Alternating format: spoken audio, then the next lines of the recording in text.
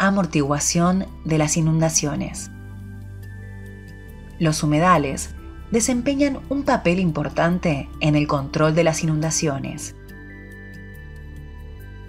Pueden actuar como esponjas al absorber el agua de las lluvias y las crecientes de los ríos y permitir que se filtre más lentamente a través del suelo y la vegetación, reduciendo con ello la velocidad y el volumen del agua que fluye aguas abajo.